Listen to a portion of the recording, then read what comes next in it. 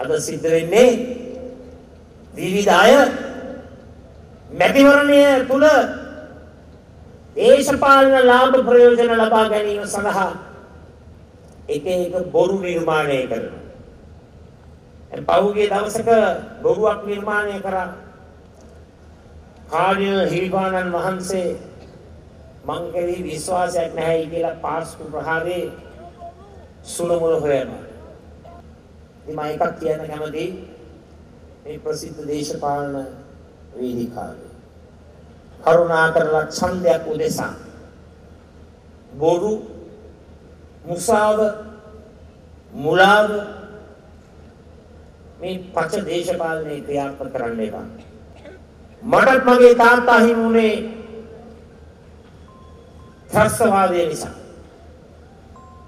ඒ නිසා මතක තියාගන්න අනිවාර්යෙන්ම මේ පාස්කු ප්‍රහාරයේ සුල මුල සෙවීමේ වගකීම විවිධ භාවයෙන් යුක්තව වගකීමෙන් සහ වගවීමෙන් සජිත් ප්‍රේමදාසත් මගේ කණ්ඩායමත් සමගි ජන බලවේගයක් අවන්තවම බහර ගන්නවයි කියන එක මම ඔබ සිල් දෙනාටම පොරොන්දු වෙනවා.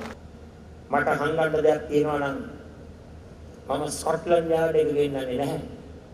FBI එක ගෙන්නන්නේ නැහැ. විදේශීය විනිසුරුන් ගෙන්නන්නේ නැහැ.